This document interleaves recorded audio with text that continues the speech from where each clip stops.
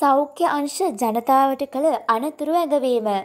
ඉතා දරුණු තත්ත්වයක සිට රට මේ වන විට ළඟා කරගෙන ඇති දේ ආපහු හැරවීමට ඉඩ නොතබන ලෙස සෞඛ්‍ය අංශය ඉල්ලා සිටී. සෞඛ්‍ය අමාත්‍යාංශයේ නියෝජ්‍ය අධ්‍යක්ෂ ජෙනරාල් විශේෂඥ වෛද්‍ය හේමන්ත හේරත් මහතා පෙන්වා දෙන්නේ මේ මොහොතේ සිදුවන වර්ධක ප්‍රතිඵල දක්නට ලැබෙන්නේ තවත් සති දෙක තුනකින් බවයි. ඉතා දරුණු තත්ත්වයක ඉඳලා අපි මේ දක්වා ළඟා කරගත්තු දේ ආපහු හරවන්නට ඉඩකඩ තියන්න එපා. අපි මේ මොහොතේ වරදක් සිදු කරලා කොවිඩ් පැතිරෙන්න ඉඩ දුන්නොත් සැබෑ ප්‍රතිඵලය අපි දකින්නේ සති දෙක තුනකට පස්සේ.